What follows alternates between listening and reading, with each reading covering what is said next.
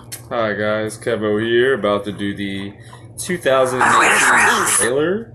Um, I'm a bit late. I'm a bit late, uh, but I just started doing trailer reactions. Uh, I was like the only kid in my neighborhood when I was younger that would run around and try to show everybody a movie trailer, and they were like, "Ah, I'm not that interested," and I would sit there and talk about it and just be a big movie nerd.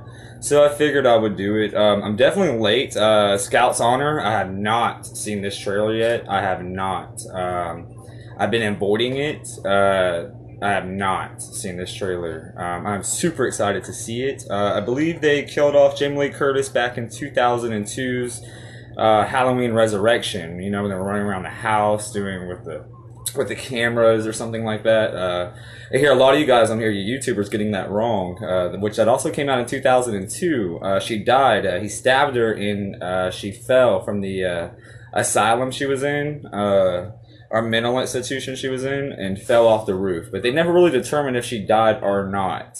we just all thought she did because uh, there was no sequel after that. Then they did Rob Zombie's 2007 remake, which actually I thought was a pretty decent movie. I did not like Rob Zombie's Halloween 2. Um, in 2009, I, I just thought it got a little too carried away with it, but they were still decent uh, compared to the old ones. But uh, I'm excited to check this out. I live right here in Charleston, South Carolina, where the movie was filmed. I I live right down the street where this movie was filmed. So let's check it out.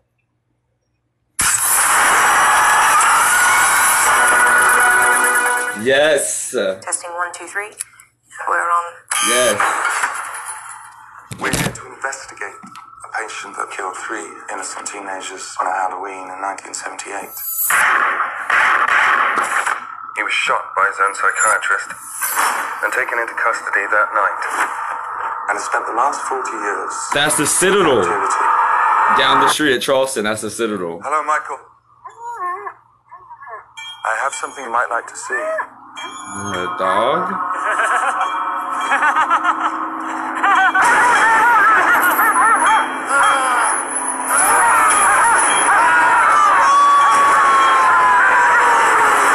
That's not creepy.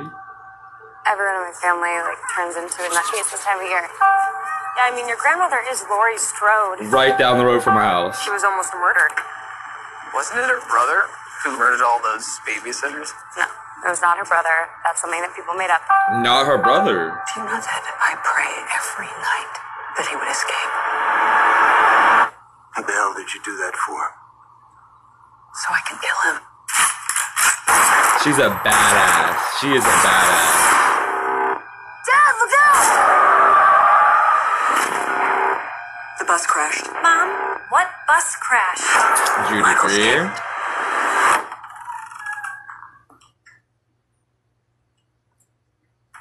Excuse me, somebody's in here. Hello? That's Livingston's gas station. I've used that bathroom.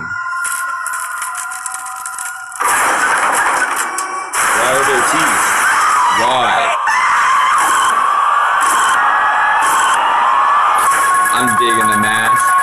He's waited for this night.